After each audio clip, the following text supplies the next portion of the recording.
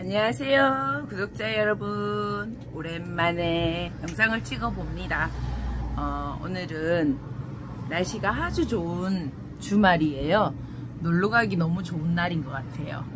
너무 조금 살짝 덥고.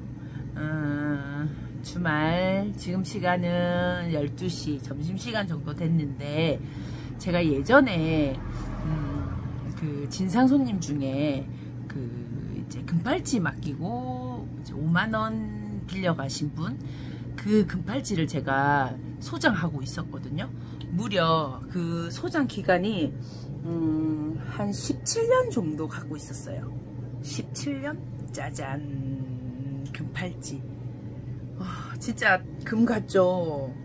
이 금팔찌를 맡기고 가셨어요 5만원 빌려줄만 하지 않아요? 제가 뭐 이제 대학 시절 얘기니까 손님께서 이제 뭐 택시비 차비 없다고 빌려주면 내일 주겠다고 한 담보로 받은 금팔찌 아, 아직도 5만원은 받지 못했고 진짜 금 같지 않나요?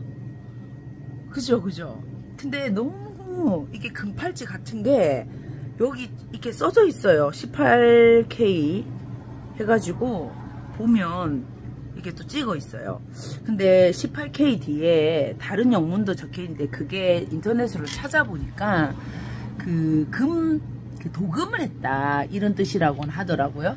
그래서 제가 지금 이 금팔찌를 이렇게 조폭 아저씨들이나 끼고 다닐 만한 금팔찌를 보여드리려고 가지고 왔어요 앞으로도 계속 갖고 있을 계획이에요.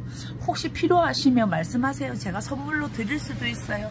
금팔찌 갖고 싶으신 분 저희 가게 방문하시면 이거 지금 이제 짝퉁 금팔찌 제가 드릴게요.